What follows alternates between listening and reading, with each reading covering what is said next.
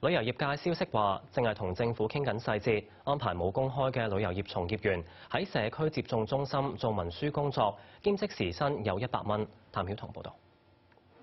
抗疫十四個月，出境遊停擺，本地遊仍然未開返。消息話，旅遊業界代表星期四曾經同統籌疫苗接種計劃嘅公務員事務局局長聂德權會面，商討將疫苗接種中心部分文書工作交俾放無薪假、失業嘅導遊、領隊、司機等嘅旅遊從業員。